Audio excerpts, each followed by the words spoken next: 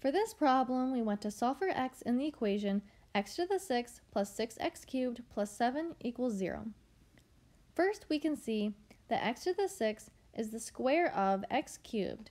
So we can make a substitution where u equals x cubed to make a quadratic equation. So now we have u squared plus 6u plus 7 equals 0.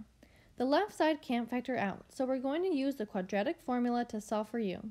In this equation, a equals 1, b equals 6, and c equals 7. So using the quadratic formula, we get u equals negative 6 plus or minus the square root of 6 squared minus 4 times 1 times 7 all over 2 times 1.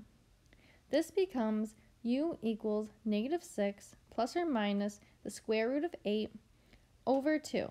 The radical can be simplified because 8 equals 4 times 2, and the square root of 4 is 2.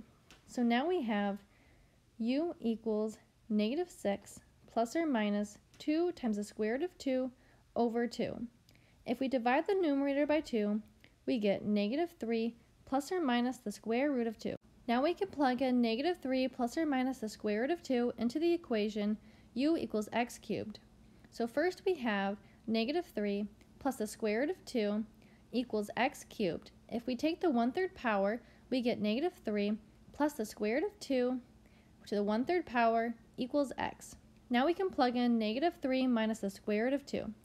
So we have negative 3 minus the square root of 2 equals x cubed. If we take the 1 third power, we get negative 3 minus the square root of 2 to the 1 third power equals x. So now we have negative 3 plus the square root of 2 to the 1 third power equals x, and negative 3 minus the square root of 2 to the 1 third power equals x are the final answers.